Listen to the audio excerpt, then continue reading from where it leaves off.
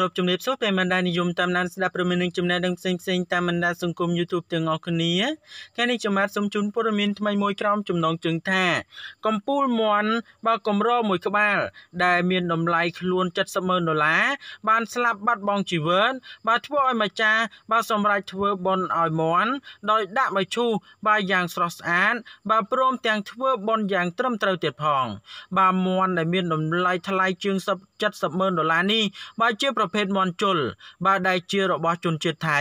ហើយបាទធ្វើបុណ្យទៅតាមប្រពៃណីជាតិរបស់ថៃព្រមទាំងបាទគេចាត់ទុកមន់នេះជាក្រុមគ្រួសាររបស់គេទៀតផង បាទពីព្រោះថាមន់មួយក្បាលនេះបាទរោគទ្រព្យសម្បត្តិមកឲ្យម្ចាស់មិនតិចនោះទេ បាទចំពោះមន់មួយនេះហើយបាទគេហ៊ានឲ្យតម្លៃរហូតទៅដល់70ម៉ឺនដុល្លារអាមេរិកប៉ុន្តែម្ចាស់មិនលក់ទេ បាទដោយទុកវាប្រើប្រាស់ក៏ដូចជា បាទទុកវាសម្រាប់បាទធ្វើ បាទជាកម្មសិទ្ធិរបស់ខ្លួនជារៀងរហូតដល់ថ្ងៃស្លាប់បាទជាចុងក្រោយមន់នេះត្រូវបានស្លាប់បាទនៅពេលដែលវាស្លាប់បាទម្ចាស់របស់វាបានធ្វើបន់បាទឲ្យមន់បាទយ៉ាងអធិកអធមមានភ្ញៀវចូលរួមយ៉ាងច្រើនកកកទៀតផងបាទប្រៀបដូចជាសមាជិករបស់បាទវាម្នាក់ទៅហើយបាទដូច្នេះកុំឲ្យប្រិយមិត្តរបស់យើងរងចាំយូរសូមមេត្តាជួយ Subscribe និង Like កាលពីពេលថ្មីៗនេះនៅក្នុងប្រទេសថៃបានធ្វើឲ្យមហាជនដែលជាអ្នកនិយមប្រើប្រាស់ស់បណ្ដាញទំនាក់ទំនងសង្គមភ្នាក់ផ្អើលយ៉ាងខ្លាំងបាទនឹងចាប់អារម្មណ៍តែម្ដងក្រោយពីបានឃើញ បាទកំពូលពូជមន់កម្រមួយក្បាល ដែលបានស្លាប់បាត់បង់ជីវិតតែ បើមកដឹងអំពីតម្លៃរបស់វាវិញនោះបាទគឺពិតជាថ្លៃហួសហេតុបាទតែម្ដង ដែលអាចទិញរថយន្តស៊េរីទំនើបបានរហូតទៅដល់ជិត10គ្រឿងឯណោះ